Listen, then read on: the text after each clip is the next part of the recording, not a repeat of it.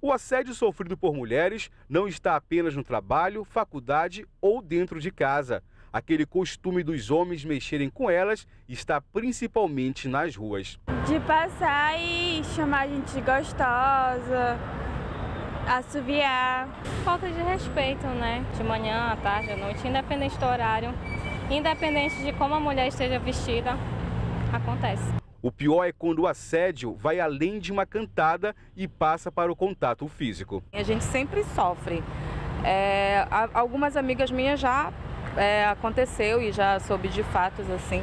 A Organização Internacional de Combate à Pobreza realizou uma pesquisa em quatro países. Aqui no Brasil, mais de 500 mulheres foram ouvidas e os relatos são impressionantes. Quando a gente está ônibus lotado, a gente está assim, né? E a pessoa fica atrás da gente, se esfregando, encostando muito. Foram considerados assédio, atos indesejados, ameaçadores e agressivo contra mulheres, podendo configurar até abuso sexual, verbal e sentimental. Em relação às formas de assédio sofridas pelas brasileiras nas ruas, aparece em primeiro lugar o assobio, seguido de olhares indesejados, depois de comentários com cunho sexual e, por último, acredite, até xingamentos. A região centro-oeste é onde as mulheres mais sofrem assédio nas ruas, são 92%, seguida do norte brasileiro, com 88%. Para a presidente da Comissão de Direitos Humanos da OAB, existe uma explicação para isso. O pano de fundo disso é um debate de gênero e acho que é importante esse debate ser feito hoje, né?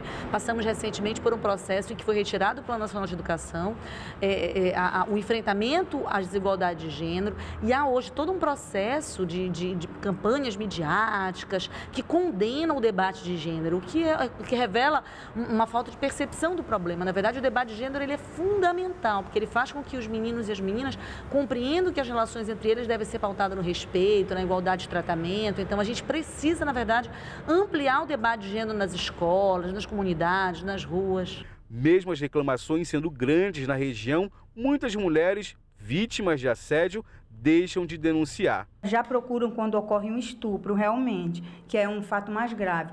Mas é, é, é, como estratégia de combate, era importante se reprimir, primeiramente, o crime mais, mais leve, de menor potencial, para evitar que ocorra um mal maior. Então, seria importante a mulher já procurar desde que ela se sinta já incomodada. É um fato que ocorre na rua, mas é tão importante quanto a violência doméstica. Pode ser denunciado em qualquer delegacia para ser apurado, inclusive na DEAN. Caso o ofensor pratique algum ato obsceno, o gesto caracteriza como crime, passível de penalidade. O assédio de rua ele não é tipificado ainda como crime, mas a conduta pode ser enquadrada na, no constrangimento ilegal ou na contravenção de importunação ofensiva ao pudor. Ou pode se chegar até um estupro, se for uma progressão criminosa.